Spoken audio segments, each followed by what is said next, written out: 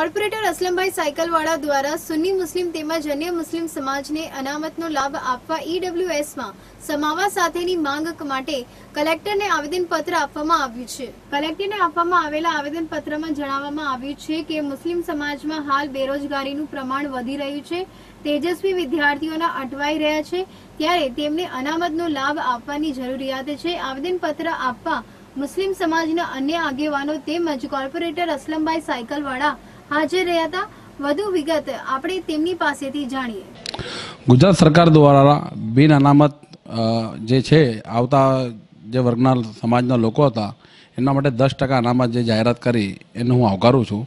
પરંતુ એ દસ ટકા અનામતની અંદર મુસ્લિમ સમાજના યુવાનો કે જે લાભાર્થી વ્યક્તિ જ્યારે જાય છે, ત્યારે એના એલસીમાં લખેલું હોય કે દાખલા તરીકે શેખ સરનેમ હોય અને નીચે પેટા જ્ઞાતિમાં મુસ્લિમ લખ્યું હોય, તો મામલતદાર શ્રી એમને એ આવકનો દાખલો આપતા નથી. જ્યારે એનો જે ઠરાવ થયેલો બે હજાર ઓગણીસમાં, એમાં સ્પષ્ટપણે સૂચવેલું છે કે જે કોઈ વ્યક્તિ એક ચાર ઓગણીસો અઠ્ઠોતેર પહેલાં ગુજરાતમાં વસવાટ કરતો હોય, જેની આઠ લાખ રૂપિયાની સંયુક્ત કુટુંબની આવક મર્યાદા હોય, તેમજ જે કોઈ પણ અનામતનો લાભ ન લેતો હોય, એવા વ્યક્તિને અનામતનો લાભ આપવો જોઈએ.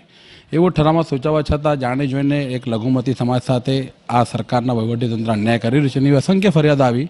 એટલે આજે અમે કલેક્ટરશ્રીને એ વાત ધ્યાન પર લાવ્યા. અધિક કલેક્ટરશ્રી જે વસાવા સાહેબ છે, એમને રૂબરૂ મળીને રજૂઆત કરી લેખિતમાં કે આ પરિસ્થિતિ છે ને આવી રીતે મુસ્લિમ સમાજના યુવાનો સાથે, વિદ્યાર્થીઓ સાથે અન્યાય થઈ રહ્યું છે અને તેઓ એમના લાભથી વંચિત રહી રહ્યા છે. તો એમને ન્યાય મળે અને તમે તમારા મામલતદાર સૂચના આપો કે ભાઈ, જે ઠરાવમાં સૂચવેલું છે કે જે કોઈ વ્યક્તિ કોઈ અનામતનો લાભ ન લેતો હોય, અને એની પાસે જરૂરી પુરાવા છે, તો એને લાભ આપવો જોઈએ એવી અમારી માગણી છે. ને એમને અમને બહુ સારી રીતે પ્રત્યુત્તર આપ્યું છે ને કીધું કે હું ચોક્કસપણે આ તપાસ કરીને યોગ્ય માર્ગદર્શન આપી દઈશ. જો હાલમાં ઘણા મુસ્લિમના જે છે, જે લેવા જાય છે તેના ટેકનિકલી આ ખાલી એ મુસ્લિમ છે, એટલે પેટા જ્ઞાતિમાં લખ્યું હોય તે પણ એને આપતા નથી કે અમારા ઠરાવમાં મુસ્લિમનો કોઈ ઉલ્લેખ નથી. એના મુસ્લિમની પેટા જ્ઞાતિ છે, મલેક છે, રંગરેજ છે સિપાહી છે, શાહ છે. હવે એક્સપાઈ જેટ અમારે એટલી જ માંગણી છે કે જ્યારે ઠરાવમાં એવું સ્પષ્ટપણે લખેલું છે કે જેને કોઈ અનામતનો લાભ ન મળતો હોય, અને જે આર્થિક અનામત હોય, આર્થિક અનામત એ બધા માટે છે.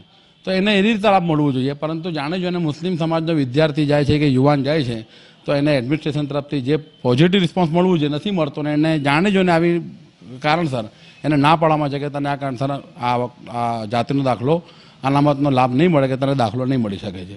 એવી ફરિયાદો ઘણી આવી, ઘણા વિદ્યાર્થીઓને આવી, ઘણા એવા યુવા બેરોજગારોને કે જે નોકરી માટે, બિચારા માટે, જરાક માટે તક રહી ગયા. એટલે અમે આટલી વિનંતી કરી છે સરકારને કે આ ટેકનિકલી ભૂલ છે કે જાણી જોઈને કરવામાં આવે છે, પણ આનું નિરાકરણ કરો અને અમારા સમાજના યુવાનોને, વિદ્યાર્થીઓને ન્યાય મળે અને જેમ બીજા સમાજના લોકોને લાભ મળે છે, એમ એમને પણ લાભ મળવો જોઈએ.